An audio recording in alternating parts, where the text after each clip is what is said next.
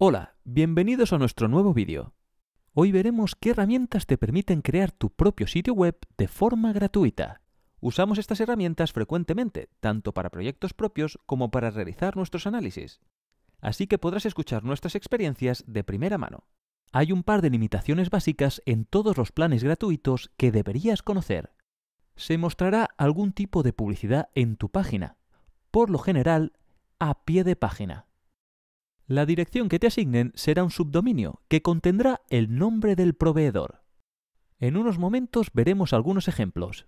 Este tipo de dirección no da un aspecto profesional, por ello no la recomendamos para negocios. Hay que decir que todas estas herramientas ofrecen paquetes premium que te permitirán usar tu propio nombre de dominio. Empezaremos con Jimdo, una de las herramientas más fáciles de usar. Muestran un elemento de autopromoción relativamente pequeño a pie de página. Aquí lo puedes ver. Mucho más elegante que en el pasado. Como aquí ves, tu nombre de dominio será un subdominio Jimdo. No podrás conectar tu propio nombre de dominio, a no ser que contrates como mínimo el Plan Pro. Veamos ahora Weebly, una de las herramientas más populares. También ofrece un plan gratuito. Como ves aquí, muestran un banner gris a pie de página, que emplea todo el ancho de tu página. Aunque es muy visible, no nos parece demasiado molesto. Tampoco podrás conectar tu propio nombre de dominio con una cuenta gratuita. Para ello tendrás que contratar por lo menos el plan Starter. Ahora veremos en detalle WebNote. Aquí puedes ver cómo se muestra un anuncio en WebNote al pie de cada página. Al poner nuestro ratón sobre él, un elemento emergente aparece. Esto nos parece más molesto que las soluciones de Jimdo o Weebly.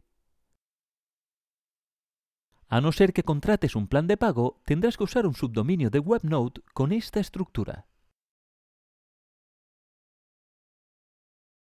Finalmente le daremos un vistazo a Wix.com. Está especialmente indicado para generar presentaciones online muy visuales. La solución de Wix es un poco más intrusiva. Muestran dos anuncios, uno en el encabezado, que será más grande si te sitúas sobre este, y otro que empleará todo el ancho de tu pie de página. Tendrás un subdominio Wix similar a este.